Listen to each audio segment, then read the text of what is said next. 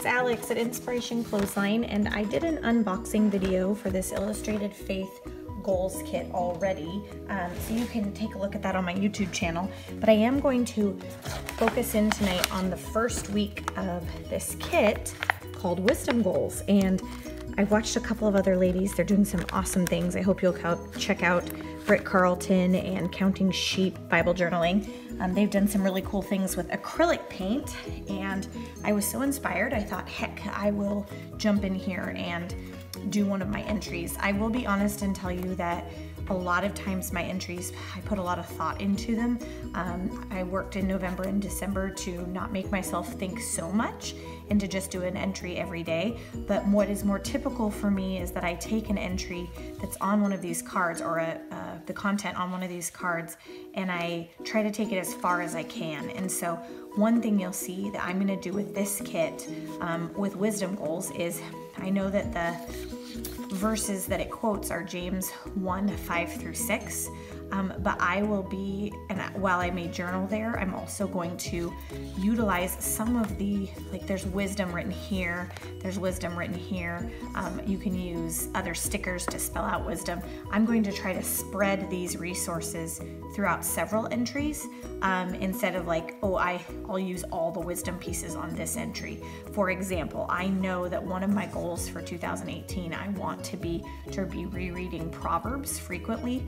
Um, there's 30 Proverbs or 31 Proverbs, and I want to be able to um, occasionally read one a day for a month or to take my time and go through it longer. And so I'm going to do some of my wisdom goal journaling in Proverbs because I know that, that that's a goal for me in 2018. So I'm going to spread these words out, these stickers and resources out over a couple of entries per card. That's one way that I make eight devotional cards work for me in the course of a month.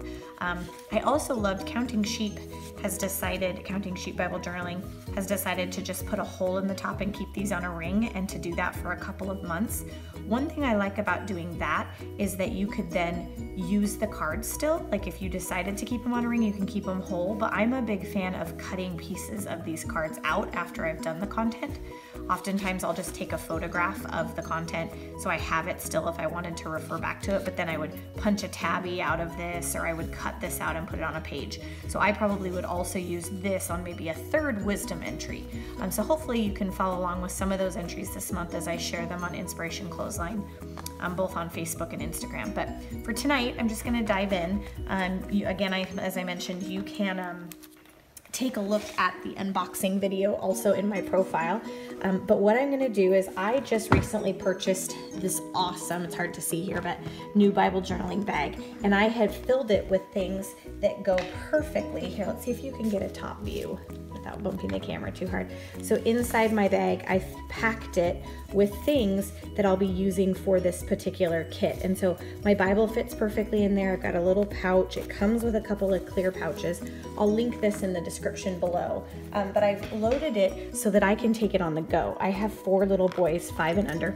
And so I'm often having, oftentimes having to Bible journal someplace that's not optimal or not my home. So I do that so that while I'm out, if I have a few minutes, I can still journal.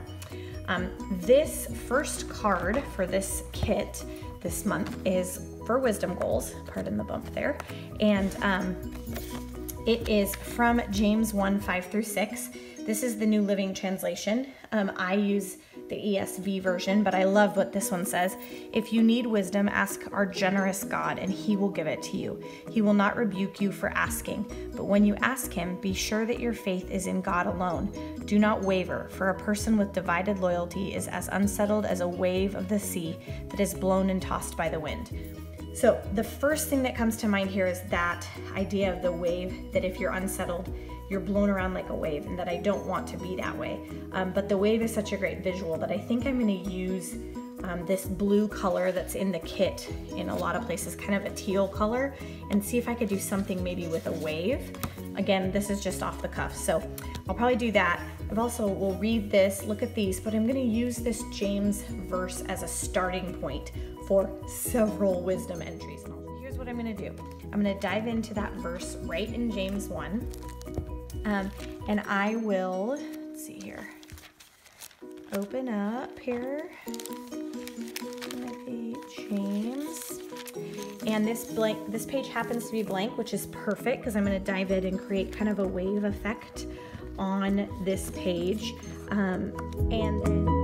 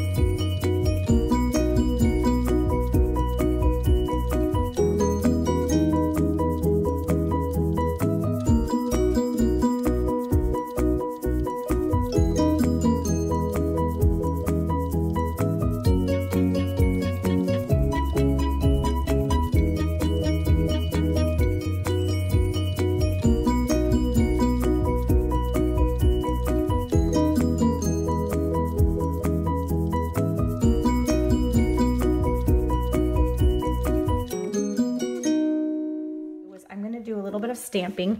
These kits always come with acrylic stamps and I'm gonna use these diamond hexes. I also pulled out um, a tab, if I can relocate it, that kind of goes with the color scheme and it had a geometric pattern on it. So I will um, use that because it kind of goes with it. I'm gonna stamp hashtag goals because that's the name of the kit and I like the continuity of having that on multiple entries. Um, and then I probably will pull out one of the wisdom stickers to use. And then let's see, what else? Oh, I do know for sure that I'm gonna use, I picked this up in the dollar bin at Michael's. I love it. I think it's probably for like planner people. I mean, it's like a little list and you can check them off. So I'm gonna write down some of my faith goals that have to do with wisdom, one of which being related to Proverbs and ways that I can work on my wisdom uh, from, coming from the Lord. Um, then I also know that I saw on one of the other stamp kits that Dayspring puts out. Um, this is a from the basics set, I believe. Clear stamps. I liked this word because it's something I'm also always working on is listen. So I think I'm gonna pull that off and maybe use that to like write on this list. So I will like to, I'll probably have some that are handwritten, some that are stickers, and some that are stamped on the list. So watch that carefully. And I'm just gonna set to work here.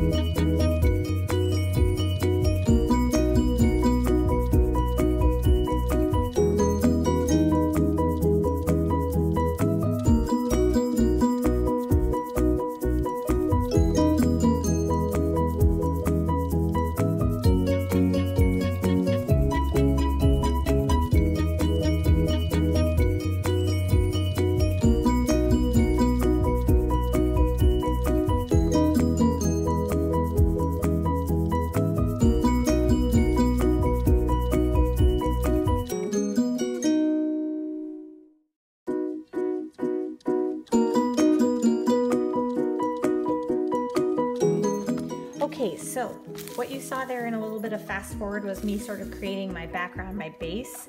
I'm probably gonna go back and add a little bit more to touch it up um, and just the, wanted it a couple of things I wanted to point out. You saw me use some Neocolor pastel crayons to do some underlining there. Those are another favorite tool I use. Um, the other thing you saw was I actually, my current Illustrated Faith pen, I left, one of my kiddos left the lid off, so I had to switch over to the Micron, but I love these Illustrated Faith pens. Um, and then what I'm gonna do here is I already shared with you that these were two that I was gonna do. I'm gonna grab some stickers and do some other creative writing here to add some things to my goals. The other thing I wanted to share with you is that when I am journaling in my Bible, um, I have a way that I differentiate between scripture that I'm quoting and when I'm actually journaling. So sometimes I might take this verse and like actually write it out, or I might take a cross referenced verse and write it out fully.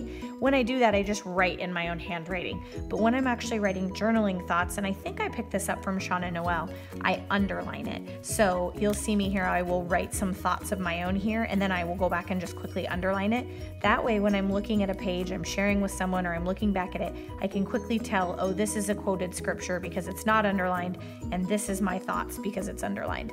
Again, that's just a system I've developed to be able to differentiate between scriptures that I've written out and my own thoughts. Um, makes it really nice and easy. So I could show you that here on this page, which was an Advent page. This little bit of journaling here was my own thoughts. Um, I could show you like here. Um, this was from the gratitude documented. I was actually quoting scripture here, so I didn't underline it. Um, let's see if I can give you one other. So here's a great example where I see both. This is a quote on script of scripture that's actually written in quotations versus this little bit at the bottom is my thoughts and my journaling. So it's underlined. Same thing over here. This is a scripture. This is my thoughts. So that's something that that's a strategy I'll employ here. I also picked this up from somebody where if you cut these tabs in half, um, you don't know that that's the color scheme on your next page. And so if you cut them in half, you get two tabs out of them because I'm always looking for things to coordinate. Okay, popping back on to show you a few more details I'm added to the page. Um, one thing I did was I found, I use these little alpha stickers that I have to spell out learn and then follow. I was debating between follow or obey here, um, ways that I can work on gaining wisdom from the Lord. Listening, I'm gonna read Proverbs. I'm going to continue to learn and to follow what he teaches me. I'm still working on what I'm gonna put on those lines. And I also wanted to really mark that this was for 2018. Um, so I'm using some stickers. I think I got these with one of the, um, ooh, those are gonna be a little tight. I'll have to go over a little bit further. That's one tip I learned from somebody and I didn't follow my own tip. you start where you want it to end so you know it will fit. Um, so there I should have started at the James and moved backwards. So for example, if you wanted the word to, to end perfectly here, you would start here. So here I'm gonna start right before James. It seems common sense, but I can't tell you how many times I've made that mistake um, and then it doesn't fit. So I'm going to put my eight down first. This is a little washi tape um, that comes, it's a, one of the Illustrated Faith line. Just added, I like the black and white, the stark black and white. Um, and then I will trace over those numbers to make them pop. Um, like I said, I still need to add two more wisdom goals. I keep flipping back into Proverbs to really think through what words I want to put on this because I know that I'm going to be focusing for wisdom goals in the book of Proverbs. And so I want to really look there for keywords of things I want to put into practice this year.